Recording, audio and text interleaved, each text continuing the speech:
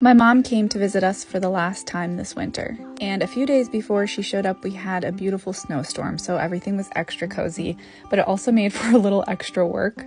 But this really got me thinking about what it feels like to be home and how we create our own sense of home for somebody else coming into our lives. Side note, this really wonderful man, Mark, stopped and helped me with the drive a little bit.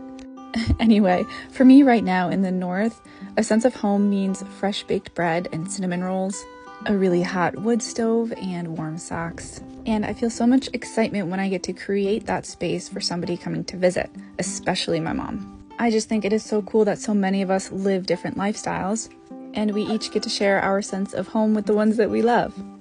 And very soon, our sense of home will shift a bit as we drive away from the beautiful Northwoods.